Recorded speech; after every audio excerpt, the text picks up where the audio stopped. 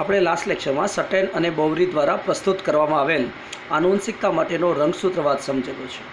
આ સિદ્ધાંત મુજબ મેન્ડેલિયન કારકો એટલે કે જનીનો ભૌતિક રીતે રંગસૂત્ર ઉપસ્થિત છે અને રંગસૂત્રના માધ્યમથી જ આ જનીનો જન્યુમાં પ્રવેશે છે અને જન્યુઓ વચ્ચે ફલન થવાથી આ જનીનો એટલે કે મેન્ડેલિયન કારકો છે રંગસૂત્ર મારફતે સંતતિ પેઢીની અંદર પ્રવેશે છે.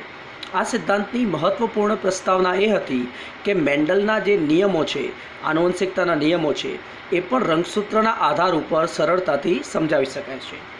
તો આપણે અહીં એક આકૃતિ કે જે અર્ધીકરણની પ્રક્રિયા દર્શાવે છે, એ આકૃતિનો ઉપયોગ કરી મેન્ડલના વિશ્લેષણનો નિયમ અને મુક્ત વિશ્લેષણનો જે નિયમ છે, એને સરળતાથી સમજીશું.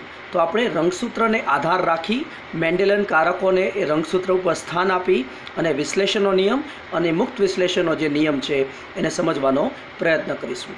તો મેન્ડલના દ્વિસંક્રમ પ્રયોગની માફક જ અહીં બે પિતૃઓ વચ્ચે ફલન દર્શાવ્યું છે. બંને પિતૃઓ એ બે લક્ષણો માટે વિરોધાભાસી અભિવ્યક્તિઓ દર્શાવે છે અને જે એફ વન પેઢી છે એ દ્વિવિષમ યુગ્મી, એટલે કે capital R small R capital Y small Y દર્શાવેલી છે. એફ વન પેઢીમાં જન્યુ સર્જન સમયે કઈ રીતે કારકો વિશ્લેષણ અને મુક્ત વિશ્લેષણ પામે છે એ આપણે અહીં આકૃતિનો ઉપયોગ કરી અને રંગસૂત્રના આધારે સમજીશું.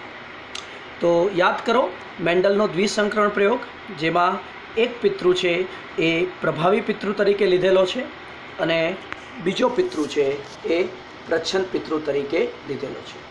તો અહીં એને આપણે સમજીએ, એના પહેલાં આપણે મેન્ડેલિયન કારકોને રંગસૂત્ર ઉપર સ્થાન આપીશું અને એ રંગસૂત્રની નો જે જોડો છે, એનો આપણે ઉપયોગ કરીશું. તો અહીં પણ મેં બે જનીનની જોડી બતાવેલી છે, બે કારકોની જોડી બતાવેલી છે. એકની જોડી છે આરની જોડી, એટલે કેપિટલ આર અને સ્મોલ આર બીજી જોડી છે વાયની જોડી કેપિટલ વાય અને સ્મોલ વાય કેપિટલ આરની જોડી છે, એટલે કેપિટલ આર અને સ્મોલ આરની જે જોડી છે, માની લો કે બીજના આકારનું નિયંત્રણ કરે છે. આ જનીનની જોડીઓ એ રંગસૂત્ર નંબર એક ઉપસ્થિત છે. એટલે અહીં પિતા તરફથી મળતા રંગસૂત્ર એક ઉપર કેપિટલ આર સ્થિત છે અને માતા તરફથી મળતા રંગસૂત્ર એક ઉપર સમજાત સ્થાન ઉપર જ સ્મોલ આર સ્થિત છે. એ રીતે એક બીજા સમજાત રંગસૂત્રની જોડ છે. રંગસૂત્ર બેની જોડ છે.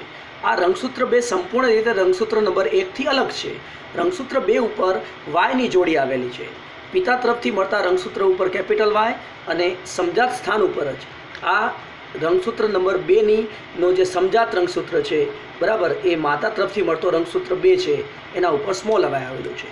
તો ટૂંકમાં આપણે આપણી આ આકૃતિમાં આ બંને રંગસૂત્રની જોડીઓનો ઉપયોગ કરીશું અને આપણી જનીનની જોડીઓ જે અલગ અલગ લક્ષણોનું નિયંત્રણ કરે છે, આરની જોડી અને વાયની જોડી, એ રંગસૂત્ર એક અને રંગસૂત્ર બે, એમ બે અલગ અલગ સમજાત રંગસૂત્ર ઉપર સ્થિત છે.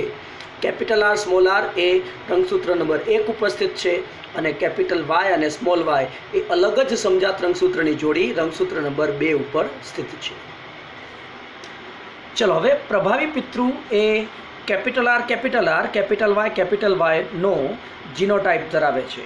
હવે એના બંને રંગસૂત્ર, જે રંગસૂત્ર નંબર એકની આ જે જોડી છે, એના ઉપર કેપિટલ આર અને કેપિટલ આર છે. અને રંગસૂત્ર નંબર બેની જે જોડી છે, એના ઉપર કેપિટલ વાય કેપિટલ વાય છે. એટલે આ એક રંગસૂત્ર પર કેપિટલ આર અને આ એક રંગસૂત્ર પર કેપિટલ આર અહીં કેપિટલ વાય કેપિટલ વાય જે માદા પિતૃ છે, જે પ્રચંડ પિતૃ છે, એ small R small R small Y small વાયનો genotype ધરાવે છે. તો એની રંગસૂત્ર નંબર એકની જોડી ઉપર સ્મોલ આર સ્મોલ આરનો જીનો ટાઈપ છે. અને રંગસૂત્ર નંબર બેની જોડી ઉપર સ્મોલ વાય સ્મોલ વાયનો નો જીનોટાઈપ છે. મતલબ કે આ બંને પિતૃઓ સમયુગ્મી છે અને જે તે જનીનની સમાન એલીલો ધરાવે છે અને એક પ્રભાવી સમયુગ્મી છે અને બીજો પ્રચ્છન્ન સમયુગ્મી છે. હવે જે પ્રભાવી નર પિતૃ છે, જે પરાગ્રશ પેદા કરે છે, એમાં કેપિટલ આર ધરાવતા રંગસૂત્ર અને અન્ય કેપિટલ આર ધરાવતા રંગસૂત્ર પૈકી એક જ રંગસૂત્ર અંદર દાખલ થશે. એટલે એક જ રંગસૂત્ર જે દાખલ થશે જે કેપિટલ આરનું વહન કરશે. અને આ પણ જે રંગસૂત્ર નંબર બેની જોડી છે, કેપિટલ વાય કેપિટલ વાય એ રંગસૂત્ર બેની જે જોડી છે, એ જોડી પૈકીનું એક જ રંગસૂત્ર અંદર દાખલ થશે. અને એટલા માટે એની તમામ જે પરાગરજ છે, એ કેપિટ, રંગસૂત્ર નંબર એક ધરાવશે અને બીજો એક રંગસૂત્ર નંબર બે ધરાવશે. અને એટલા માટે પરાગરજનો જીનોટાઈપ થશે કેપિટલ આર કેપિટલ વાય એ રીતે હવે જે માદા પિતૃ છે, એના જે અંડકોષો છે, એમાં પણ આ રંગસૂત્ર નંબર એકની જે જોડી છે, એ જોડી પૈકીનું એક જ રંગસૂત્ર અંદર દાખલ થશે, જેની પાસે સ્મોલ આર હશે. અને રંગસૂત્ર નંબર બેની જોડી પૈકીનું એક જ રંગસૂત્ર દાખલ થશે, જેની અંદર સ્મોલ વાય હશે. કારણ કે અહીં બંને રંગસૂત્ર ઉપર સ્મોલ આર સ્મોલ આર અને સ્મોલ વાય સ્મોલ વાય છે. એટલે જે અંડકોષ છે, તમામ અંડકોષ છે, એનો જીનોટાઈપ થશે સ્મોલ આર અને સ્મોલ વાય ચલો, હવે પરાગ્રજ કે જે કેપિટલ આર વાયને ધારણ કરે છે. એ જ્યારે ફલન કરશે સ્મોલ આર વાય ધરાવતા અંડકોષનું, તો એફ વન પેઢી સર્જાશે. એફ વન પેઢીનો જીનોટાઈપ છે. Capital R small R capital Y small Y આ તો જાણીએ જ છીએ. હવે ને રંગસૂત્રના સંદર્ભમાં જોઈએ.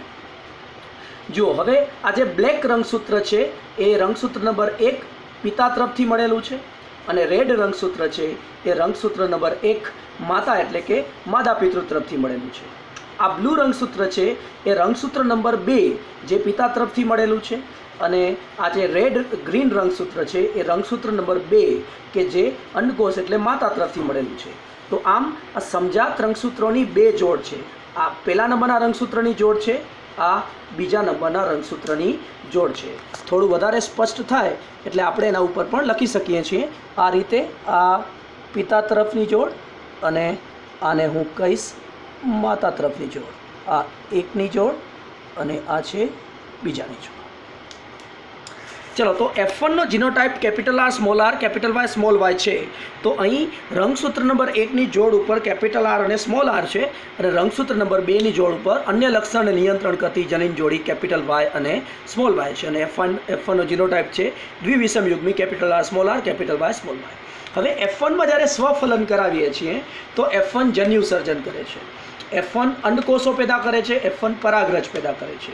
અને આ એફ વનમાં જન્યુ સર્જન સમયે કઈ પ્રક્રિયા જોવા મળે છે? અર્ધીકરણની. તો હવે આપણે આ એફ વન જ્યારે અર્ધીકરણ કરે છે, એ પ્રક્રિયાને જોઈએ છીએ, એટલે એફ વનમાં જન્યુ સર્જન જોઈએ છીએ. હવે તમે જાણો છો કે અર્ધીકરણ એક અને અર્ધીકરણ બે, એ થશે ત્યારે સમગ્ર અર્ધીકરણ ખતમ થશે? તો આપણે અર્ધીકરણ એકની પૂર્વાવસ્થા એકને અત્યારે સ્કીપ કરીએ છીએ. અને સીધે સીધી આપણે અર્ધીકરણ એકની જે ભાજનાવસ્થા છે એને દર્શાવીએ છીએ. તો તમે આકૃતિમાં જોશો કે આપણે હાલ અર્ધીકરણ જે એક છે, એની ભાજનાવસ્થા એકને સીધે સીધી દર્શાવીશું અને આપણે પૂર્વાવસ્થા એકને અત્યારે હાલ સ્કીપ કરીએ છીએ અને સીધું આપણે આપણું ધ્યાન કેન્દ્રિત કરીએ છીએ અર્ધીકરણ એકની ભાજનાવસ્થામાં હવે જુઓ, અર્ધીકરણ એકની જે ભાજનાવસ્થા છે એમાં જે ભાજના તલ હોય છે, એના ઉપર સમજાત રંગસૂત્રની જોડ બે અલગ અલગ શક્યતાઓમાં ગોઠવાઈ શકે છે. હું રિપીટ કરું છું કે જે અર્ધીકરણ એકની ભાજનાવસ્થા એક છે, એના જે મધ્યપટ્ટી વિસ્તાર છે, વિષવવૃત્તીય પ્રદેશ છે, એ પ્રદેશ ઉપર સમજાત રંગસૂત્રની જે જોડ હોય છે, એ બે અલગ અલગ શક્યતામાં ગોઠવાઈ શકે છે. તો પહેલાં આપણે શક્યતા નંબર એક જોઈએ છીએ. તો ધ્યાનથી આકૃતિ જુઓ, આ શક્યતા નંબર એકની આકૃતિ છે. હવે જુઓ, આ રેડ અને જે બ્લેક છે, એ સમજાત રંગસૂત્ર એકની જોડીને પ્રદર્શિત કરે છે અને આ બ્લુ અને ગ્રીન છે, એ રંગસૂત્ર નંબર બે છે, એની સમજાત રંગસૂત્રની જોડીને પ્રદર્શિત કરે છે. હું રિપીટ કરું કે બ્લેક અને રેડ છે, એ રંગસૂત્ર એકની સમજાત રંગસૂત્રની જોડી છે અને બ્લુ અને ગ્રીન છે, એ રંગસૂત્ર બેની જોડી છે. હવે અહીં રંગસૂત્ર નંબર એકની જોડીનું રંગસૂત્ર નંબર બેના જોડી સાથે કોઈ સંબંધ હોતો નથી. બરાબર, આ એક અસ્તવ્યસ્ત પ્રક્રિયા છે અને એટલા માટે રંગસૂત્ર નંબર એકની જોડી અને રંગસૂત્ર નંબર બેની જોડીને વિષવવૃત્તીય પ્રદેશ ઉપર ગોઠવવામાં એકબીજા સાથે કોઈ સંબંધ હોતો નથી. હવે આ કઈ કયા પ્રકારની ગોઠવણી હોય છે? તો અહીં આ ત્રાક જે તારા કેન્દ્ર છે, એમાંથી આવતો ત્રાક તંતુ આ પિતા તરફથી મળેલા એકના સેન્ટ્રોમિયર સાથે જોડાય છે. અને સામેના ધ્રુવમાંથી આવતો ત્રાકતંતુ આ રંગસૂત્ર એક કે જે માતા તરફથી મળેલો છે, એના સેન્ટ્રોમિયરને જોડે છે. અને આ રીતે અહીં પણ સેન્ટ્રોમિયરથી જોડાય છે અને આ પણ સેન્ટ્રોમિયર જે છે, રંગસૂત્ર બેનું, એ આ તારા કેન્દ્રના ત્રાકતંતુથી જોડાયેલી છે. હવે જુઓ, શક્યતામાં શું ફેરફાર છે? આ પિતા તરફથી મળેલો રંગસૂત્ર નંબર એક, તો એના નીચે ગોઠવાશે, આ બાજુએ પિતા તરફથી મળેલો રંગસૂત્ર બે. માતા તરફથી મળેલો રંગસૂત્ર એક અને માતા તરફથી મળેલો રંગસૂત્ર બે. તો આને આપણે શક્યતા એક કહેશું. હવે એ શક્યતા એક, શક્યતા બેથી કઈ રીતે અલગ પડે છે? તો શક્યતા બેમાં જુઓ. પિતા તરફથી મળેલો બ્લેક નંબરનો રંગસૂત્ર છે, એના નીચેના ભાગમાં અહીં ગોઠવાય છે જે ગોઠવાય છે એ છે માતા તરફથી મળેલો રંગસૂત્ર બે. તો અહીં શું ફરક છે? અહીં પિતા તરફથી મળેલા રંગસૂત્ર એકના નીચે, પિતા તરફથી મળેલો રંગસૂત્ર બે છે. જ્યારે અહીં હવે પરિસ્થિતિ બદલાઈ જાય છે. પિતા તરફથી મળેલા રંગસૂત્ર એકના નીચે છે, માતા તરફથી મળેલો રંગસૂત્ર બે અને માતા તરફથી મળેલા એક રેડ કલરના રંગસૂત્ર નીચે છે, માતા પિતા તરફથી મળેલો રંગસૂત્ર બે. હવે આ પરિસ્થિતિની થવાની પચાસ ટકા પચાસ ટકા સંભાવના છે. કેમ પચાસ ટકા સંભાવના કહું છું? કારણ કે રંગસૂત્ર નંબર એકની જોડીનું વિષવવૃત્તીય તાલ ઉપર ગોઠવણીનો કોઈ સંબંધ હોતો નથી રંગસૂત્ર બેના જોડીના ગોઠવવા સાથે. અને એટલા માટે આ એક અસ્તવ્યસ્ત અને રેન્ડમ પ્રક્રિયા છે અને એટલા માટે પિતા પિતાવાળા રંગસૂત્ર એક જગ્યાએ હોઈ શકે છે માતા માતાવાળા રંગસૂત્ર એક જગ્યાએ હોઈ શકે છે, અથવા તો પિતા માતા અને માતા પિતા એ રીતે પણ ગોઠવણી હોઈ શકે છે. અને બંને પ્રકારની ગોઠવણીની સરખી પચાસ ટકા પચાસ ટકા સંભાવના છે. હવે આ જ ગોઠવણીના આધારે આગળ જઈ અને જન્યુઓનો જીનોટાઈપ છે એ નિર્ધારિત થવાનો છે. આ જ ગોઠવણીના આધારે જન્યુઓનો જીનોટાઈપ છે નિર્ધારિત થવાનો છે. હું ફરીથી રિપીટ કરું કે રંગસૂત્ર નંબર એકની જોડી ભૌતિક રીતે રંગસૂત્ર નંબર બેની જોડીથી સ્વતંત્ર છે અને એટલા માટે બાજના તલ ઉપર રંગસૂત્ર નંબર એકની જોડીનું ગોઠવવું એને કોઈ સંબંધ હોતો નથી રંગસૂત્ર નંબર બેની જોડીને ગોઠવવાથી અને એટલા માટે આ રીતે પણ ગોઠવાઈ શકે છે પિતા પિતા માતા માતાનો અથવા તો પિતા માતાનો અને માતા પિતાનો એ રીતે પણ ગોઠવાઈ શકે છે. અને આ બંનેની ગોઠવણી થવાની પચાસ ટકા પચાસ ટકા સંભાવના છે.